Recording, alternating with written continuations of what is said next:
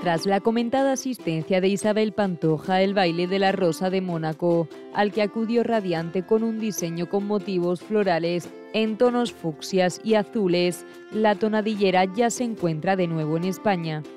Isabel abandonaba Montecarlo para regresar a Cantora y al igual que a la ida, la tonadillera ha tenido a su disposición un jet privado, se supone que pagado por quienes la invitaron al evento, para disfrutar de una mayor comodidad e intimidad en las horas de trayecto que hay entre Mónaco y Jerez de la Frontera. Y sin la exclusiva fiesta benéfica, la artista se dejó ver pletórica, feliz y radiante. Todo ha cambiado nada más pisar suelo español.